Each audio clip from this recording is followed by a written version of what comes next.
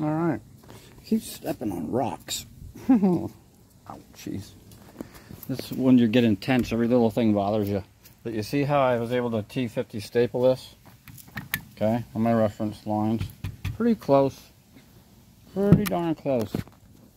I'm pretty happy with it. I'm going to give it a test drive before I go crazy stapling it again, but there's both reference points. My orange. I mean, I'm pretty confident, but I don't want to do anything in here in a slack point too much. I can, of course, staple where it's natural. A natural bend, I'll put like two staples here. Yeah, and two on the other side. All right, let me do that. I'm gonna put a couple staples on this side and a couple on the other, just two and two. Right here and here, work while it's a little slack. Operation